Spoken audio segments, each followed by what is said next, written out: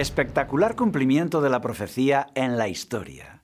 Hoy te daremos la llave para abrir las profecías cronológicas de Daniel y Apocalipsis. Veremos aquí la semana más importante de la historia, la semana 70, donde el destino de la humanidad da un giro y se confirman todas las profecías. La doctrina del rapto secreto se apoya en la semana 70. ¿Qué dice la Biblia sobre esto? ¿Cómo afecta esto a tu vida hoy? ¿Cómo impacta esto a mi esperanza, a mi fuerza y a la alegría de vivir?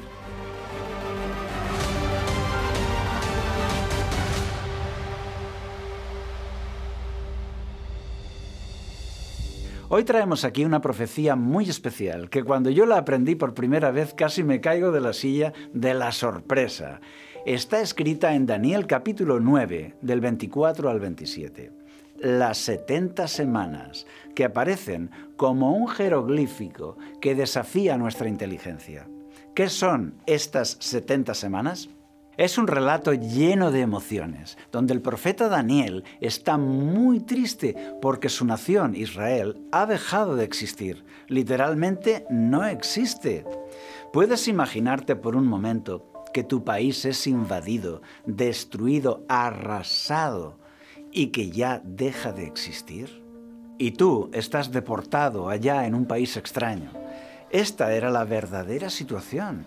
Y Daniel está triste porque piensa, ¿y si no existe Israel, cómo va a nacer el Salvador? Si no existe Jerusalén, no existe el templo, ¿y cómo va a venir el Mesías a su pueblo si su pueblo no está ahí? ¿Y cómo se podrá realizar la salvación del mundo? Y Daniel ora fervientemente por esto y recibe una respuesta. Un ángel viene y le da una visión. En esa visión se le dice, he venido para hacerte entender. Y le da la explicación de las 70 semanas, esta profecía especial que hoy vemos aquí. En esta profecía Dios le dice que hay una segunda oportunidad. Tranquilo, Daniel, Israel tendrá una segunda oportunidad. Aunque ahora parezca increíble, se van a reconstruir los muros, aunque ahora estén destruidos, eh, se van a reconstruir. El templo se va a construir de nuevo. El Mesías llegará, será ungido, expiará el pecado del mundo y confirmará el nuevo pacto con muchos. Con esto, las profecías quedarán confirmadas y Daniel ahora respira aliviado y cobra ánimo y cobra confianza. Ahora voy a darte la llave para abrir esta profecía. Así, tengas el nivel que tengas, vas a poder acompañarme sin problema hasta el final del vídeo y entenderlo todo. Si tomamos las 70 semanas literales, 70 por 7 nos dan 490 días, aproximadamente un año y medio. Pero pasó un año y medio y nada de eso sucedió. La profecía no se cumplió. ¿Quedaron los israelitas decepcionados? No. ¿Por qué? Pues porque ellos no esperaban que todo eso se cumpliría en 490 días, sino en 490 años. Se trata de 70 semanas de años, según el tradicional cómputo de la profecía judía, día por año. De manera que Israel tenía una segunda oportunidad, 490 años determinados para Israel. Piensa, sería imposible que fueran días literales. No puede suceder todo eso en un año y medio. ¿Te imaginas? Reedificar la ciudad de Jerusalén, levantar de nuevo las murallas, construir un nuevo templo de piedra y lo más difícil, que en un año y medio venga el Mesías, crezca muy rapidito para hacerse adulto, sea ungido y pueda expiar los pecados del mundo. Imposible. La Biblia nos lo muestra así en Números 14, 34. Nos dice claramente, un año por cada día. Y esto se aplica también a la profecía bíblica. Ezequiel 4.6 nos dirá lo mismo, un día por cada año. Y así se cumple en la profecía cronológica. Quizá tú dirás, espera Juan, espera. ¿Quieres decir que cada día de la profecía representa un año en la historia? Pues sí, por supuesto. Estas profecías cronológicas se abren con esta llave el principio día-año. O sea que 70 semanas son 490 años. Y ahora sí que todo encaja a la perfección. ¿Te imaginas que en la noche de bodas cambiaran a tu pareja por otra persona? Que cuando te despiertas te das cuenta que se han llevado a tu pareja y te pusieron en la cama a otra persona? Pues esto fue lo que le pasó al patriarca Jacob. Increíble, pero cierto. Así dice el relato bíblico. Jacob trabajaba para Labán y Labán le dijo, ¿cuánto tengo que pagarte? Y Jacob le dijo, el salario que quiero es que trabajaré siete años para que me des a tu hija Raquel como esposa. Y Labán estuvo de acuerdo. Así dice el texto bíblico de Génesis 29, 18. Jacob amaba a Raquel y dijo, Te serviré por siete años por Raquel, tu hija menor. Labán tenía dos hijas, Lea, la mayor, y Raquel, la menor. Jacob estaba enamorado de Raquel, la menor. Por eso acuerda trabajar siete años para conseguirla. Y en la noche de bodas, Labán le cambió a la novia. Y parece que mientras Jacob dormía, le metió a Lea en la cama. Increíble.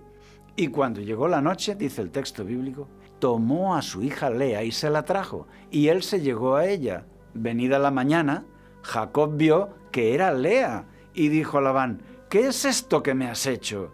¿No te serví por Raquel? ¿Por qué entonces me has engañado? Su suegro Labán le dice simplemente, es costumbre dar primero a la hija mayor antes que a la menor. Y Jacob se ha casado con la menor y se ha acostado con la mayor. Labán le da una solución al problema. Atención aquí, porque el periodo de siete años le llama semana. El versículo 27 dice, Cumple la semana de esta, y te daré también la otra, por el servicio que hagas conmigo otros siete años. Es decir, cumple otra semana y te quedas con las dos. Termina los siete años de trabajo por Raquel, y cumple siete años más de trabajo por Lea, y te quedas con las dos. Vaya solución, ¿verdad? El versículo 30, para confirmarlo, dice así. Jacob se unió también a Raquel y la amó más que a Lea y trabajó para Labán otros siete años. Aquí la palabra semana significa siete años. Esto nos muestra que en esa cultura una semana también significaba siete años, es decir, una semana de años. Ah, ahora sí entendemos las 70 semanas. Son 70 semanas de años. En la Biblia, esta palabra semana significa también sietena, es decir, siete años. Doce años sería una docena de años. Siete años sería una sietena, aunque la palabra no existe en español, pero sí en hebreo. Puedes verlo cuando se habla de los jubileos. Dice claramente que son semanas de años, o sea, sietenas de años, en Levítico 25, 8. Por eso, las 70 semanas son 490 años en la realidad. Así lo entendió Daniel y así lo entendieron los judíos y así lo entiende todo el mundo, porque es así. Ya tenemos la llave. Ahora vamos a abrir la profecía. Ahora viene el gran espectáculo de su cumplimiento. Y con la llave ya todo es muy fácil. Las 70 semanas. Daniel capítulo 9, 24. 70 semanas están determinadas sobre tu pueblo y sobre tu santa ciudad. 70 semanas, 490 años, determinados para Israel, una nueva oportunidad para la nación de Israel. Dice el texto que las 70 semanas son para expiar la iniquidad y ungir al santo de los santos. ¿Qué significa? Ungir al santo de los santos es el bautismo de Jesús, cuando fue ungido con el Espíritu Santo. Y el texto dice, para expiar la iniquidad. O sea, que en estas 70 semanas Jesucristo moriría en la cruz pagando el precio por nuestros pecados, literalmente para expiar la iniquidad y resolver el problema del pecado. Daniel 7:25 dice, Desde la salida de la orden para restaurar y edificar Jerusalén hasta el Mesías príncipe, habrá siete semanas y sesenta y dos semanas. Y por otra semana confirmará el pacto con muchos. Las setenta semanas están formadas por tres etapas. Primero, siete semanas de reconstrucción, para reconstruir Jerusalén y la nación de Israel. Luego, 62 semanas de silencio profético, donde no se levantó ningún profeta. Y al final, una semana, la más gloriosa, donde se confirma el pacto, la semana 70. Y esta profecía nos dice que pasaría ese tiempo entre la orden de reconstruir Jerusalén y el Mesías. Y así se cumplió en la historia. Llegó el momento en que un emperador persa, Artajerjes, firmó el decreto de reconstrucción de Jerusalén.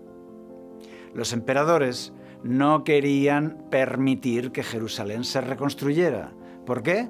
Porque había sido una ciudad de las más rebeldes de la historia. Su rebeldía era proverbial.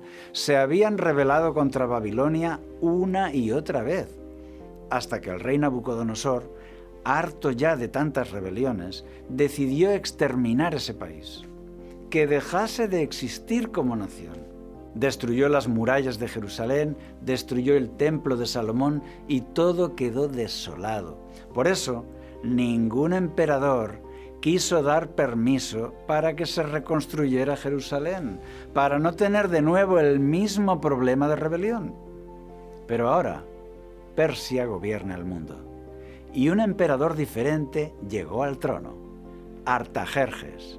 Tiene simpatía por los judíos, ya que su madre se llama Esther, la reina Esther. Caramba, esto sí cambia las cosas. También desde niño habría conocido al sabio primer ministro llamado Mardoqueo. Y tanto Mardoqueo como Esther eran judíos. Y ahora este emperador va a favorecer a los judíos y ha llegado el momento en la historia en que un emperador va a permitir que se reconstruya Jerusalén. El rey Artajerjes da la orden de reconstruir Jerusalén, año 457 a.C. Comienza a correr el tiempo en los próximos 490 años encontramos las tres etapas, la reconstrucción, el silencio y el pacto. La semana 70. Tras las siete semanas y 62 semanas, aparece el Mesías, la figura central de esta profecía. Y después de las 62 semanas, se quitará la vida al Mesías, dice Daniel 9, 26. Y efectivamente, después de esas 62 semanas, se quita la vida al Mesías muriendo en la cruz. Y así llegamos al punto culminante de la historia, la semana más gloriosa que se haya vivido nunca. Sin ella, la Biblia no tendría sentido. La semana 70. ¿Y qué sucede en ella? confirmará el pacto con muchos. Jesús trae el nuevo pacto en su sangre y muchos israelitas que vivían el pacto de la ley ahora aceptaban al Cristo crucificado y eran confirmados en el nuevo pacto. La mitad de la semana. Sigue diciendo la profecía, a la mitad de la semana hará cesar el sacrificio y la ofrenda. Y efectivamente, esta última semana hará cesar el sacrificio y la ofrenda. ¿Por qué? Porque todos los sacrificios apuntaban a Jesús. Y al morir Él en la cruz, ya no es necesario el sacrificio de animales ni las ofrendas nunca más. Así lo dice Mateo 27, 50. Entonces Jesús, habiendo otra vez exclamado a gran voz, exhala el Espíritu. En esto, el velo del templo se rasgó en dos desde arriba hacia abajo la tierra tembló y las rocas se partieron. En el momento de la muerte de Jesús, el velo del templo se rasgó de arriba abajo. Una mano invisible había declarado descalificado el sistema de ritos y de sacrificios, porque el verdadero sacrificio lo había hecho Jesús, muriendo en la cruz por ti y por mí. La profecía había llegado a su cumplimiento. Jesús había muerto en la cruz por nosotros estaba escrito, hará cesar el sacrificio y la ofrenda en la semana 70 y sucedió justo en la mitad de la semana, tres años y medio después de su bautismo. La semana 70 es la semana en que los judíos descubren a Jesús, los primeros tres años y medio por la predicación de Jesús y los últimos tres años y medio por la predicación de los apóstoles y en el mismo centro la cruz. ¿Y qué pasó tres años y medio después de la cruz? Hechos 7 nos dice, y echándolo fuera de la ciudad, lo apedrearon. Aquí está hablando de Esteban, el apedreamiento de Esteban, el rechazo y persecución a los cristianos. Y apedreaban a Esteban mientras él invocaba y decía, Señor Jesús, recibe mi espíritu. Ese día se desató una gran persecución contra la iglesia que estaba en Jerusalén. Y todos se dispersaron por Judea y Samaria, excepto los apóstoles. En esta terrible persecución, los judíos quieren exterminar a los cristianos. Los judíos han dejado de ser el pueblo de Dios, han pasado a ser exterminadores del pueblo de Dios. Esto pone fin a las 70 semanas para Israel. Dios intentó que ese pueblo aceptara a Jesús, pero solo algunos lo hicieron. Los líderes judíos se convirtieron en perseguidores. A partir de ese momento ya no son más el pueblo elegido de Dios. A partir de ahora, gente de todas las razas serán su pueblo elegido. Ahora, los cristianos de todas las naciones serán hijos de Abraham por la fe, como tú y yo ya no tienes que hacerte judío para entrar en el pueblo de Dios. Dios deja al pueblo judío a su libre albedrío. Va a dejar de protegerles y pocos años después las legiones romanas van a terminar definitivamente con el país. Se habían cumplido las 70 semanas, 490 años exactamente, desde la orden de reconstruir Jerusalén hasta el apedreamiento de Esteban. Así, Israel había consumido su última oportunidad como pueblo único de Dios. Después de eso, ya solo quedan las palabras de la profecía en Daniel 9:26. El príncipe de un pueblo que ha de venir destruirá la ciudad y el santuario. Solo quedaba que vinieran los ejércitos de Roma, y así fue como el general Tito destruyó aquella nación rebelde una vez más en la historia y por 19 siglos quedó desolada. La profecía se había cumplido a la perfección, paso a paso. El rapto. La doctrina del rapto secreto toma la semana 70 y la separa de las demás y la coloca en el fin de los tiempos. Esto es imposible por varias razones. De las 70 semanas, la profecía dice que son para expiar la iniquidad y esto solo se cumple en la cruz, cuando Él muere en nuestro lugar y expía la iniquidad. En la semana 70, la profecía dice, hará cesar el sacrificio y la ofrenda. Y Dios puso fin a los sacrificios del templo una sola vez, al morir Cristo en la cruz. No lo hará en el futuro. La profecía dice que en la semana 70 Jesús confirmó así el pacto con muchos. En la semana 70 la profecía dice, confirmará el pacto con muchos. Y así Jesús trajo el nuevo pacto, ahora en su sangre, y muchos lo aceptaron.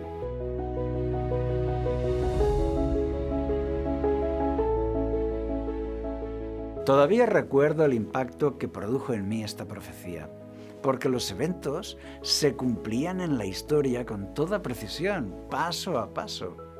Dios lo sabía de antemano es una evidencia de que la Biblia es un libro sobrenatural, un libro milagro. Estas escrituras y estas profecías quedaron escritas en los rollos manuscritos, durmieron por siglos en las sinagogas y en los hogares de los judíos hasta que llegó el día de su cumplimiento. Y aquel mensaje que estaba escrito se convirtió en realidad, tal como estaba escrito. Tú puedes confiar en la Biblia. Si tú quieres conocerla más, puedes acceder gratis a nuestros estudios de la Biblia o pedir un libro gratis. Te dejo los enlaces en la descripción de este vídeo. 70 veces 7. Y así llegamos a este texto de Mateo 18:21. Entonces Pedro se acercó y le preguntó, Señor, ¿cuántas veces tendré que perdonar a mi hermano si peca contra mí? ¿Hasta siete? Aquí Pedro estaba preocupado por saber cuántas veces tendría que perdonar. Es más fácil perdonar una vez que perdonar la segunda o la tercera vez, ¿verdad? Y la respuesta de Jesús fue, no tienes que perdonar siete veces, sino setenta veces siete, porque ese número para Jesús era un número especial, 70 veces 7. Jesús estaba perdonando 70 veces 7 a Israel como nación, 70 veces 7 años. 70 semanas de años era esa oportunidad que Él seguía dando a la nación una y otra vez. Y ahora, ante la pregunta de Pedro, a Jesús me lo imagino con una sonrisa en los labios diciendo, no te digo, Pedro, que siete, sino hasta setenta veces siete, como yo os estoy perdonando a vosotros, Israel. Números con significado, números preciosos que tienen esa belleza de la profecía bíblica. Conclusión. Terminamos con un resumen rápido. Varios hitos históricos marcan el cumplimiento de esta profecía. Primero, el edicto de reconstrucción de Jerusalén de Artajerjes en el año 457 a.C. El segundo hito, Jerusalén reconstruido, año 408 a.C. El tercero, el ungimiento del Mesías en su bautismo, año 27 después de Cristo. Cuarto, la cruz, cuando se expió la iniquidad, año 31 después de Cristo. Quinto, al final de las 70 semanas, el apedreamiento de Esteban, la persecución, el fin de la oportunidad para Israel como único pueblo escogido. Año 34. La semana número 70 es la más maravillosa de todas, porque en ella Jesús redimió a la humanidad, Jesús cumplió las palabras de esta profecía, expió la iniquidad e hizo cesar los sacrificios, nos salvó en la cruz. No podemos dejar la cruz fuera de las 70 semanas. Son 70 semanas seguidas. No podemos llevarnos las semanas 70 al tiempo del fin. No es posible. Al contrario, las 70 semanas solo existen para llevar a Israel a su gran culminación. El Mesías sacrificado en la cruz, trayendo la salvación a toda la humanidad. Dios extiende su perdón, si hace falta, hasta 70 veces 7, y lo mismo hace contigo. Lo que Él quiere es perdonarte, pero esta oportunidad no durará siempre, querido amigo. Esta oportunidad no es eterna. 70 veces 7 es mucho perdonar, ¿verdad? Pero un día terminará.